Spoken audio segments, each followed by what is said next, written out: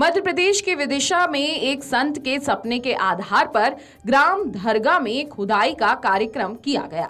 संत का दावा था कि यहाँ खुदाई के दौरान हनुमान जी की लगभग दो से ढाई फीट की प्रतिमा बाहर निकलेगी। जिस संत को यह सपना आया था, वो संत ओंकारेश्वर के बताए जा रहे हैं। ओंकारेश्वर के संत हरिदास त्यागी का यह दावा है कि लटेरी तहसील के ग्राम धरगा में हनुमान जी की पाषाण प्रतिमा ज़मीन में दबे होने का उन्हें सपना आज से लगभग छह महीने पहले आया था।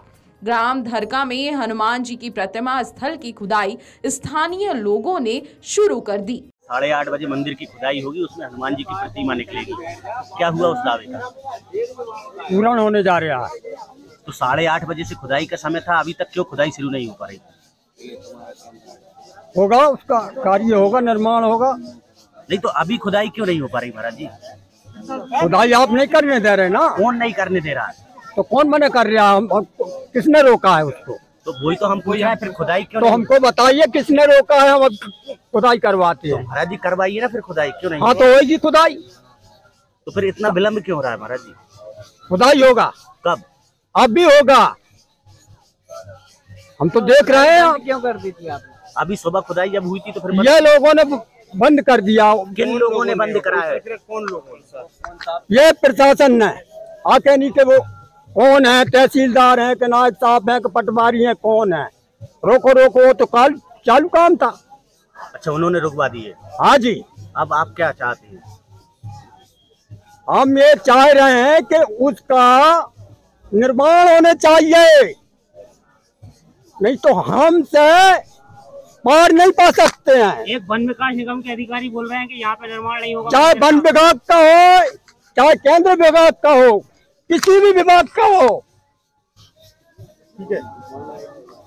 इस दौरान थोड़ी थोड़ी मूर्ति भी दिखाई देने लगी। तभी स्थानीय पुलिस प्रशासन, राजस्व और वन विभाग के बीच सामंजस्य की स्थिति नहीं बनने के कारण अभी पुलिस प्रशासन के युक्त खुदाई पर रोक लगवा दी है। इस दौरान जिस गाँव में हनुमान जी की प्रतिमा निकलने का दावा किया जा रहा है, वहाँ पूजन पाठ का दौर भी शुरू हो चुका है। इस दौरान दूर दूर से लोग देखने के लिए आ रहे हैं कि यहाँ से हनुमान जी की मूर्ति निकलती है या नहीं। अब देखना यह होगा कि कब प्रशासन इसकी आगे की खुदाई शुरू करवाएगा और संत अनुसार यहाँ हनुमान जी की मूर्ति अगर निकलेगी तो ये किसी चमत्कार से कम नहीं माना जाएगा। Video desk Jeevanjali dot com. अगर आपको हमारा ये वीडियो पसंद आया हो तो हमारे चैनल जीवांजलि को सब्सक्राइब करें।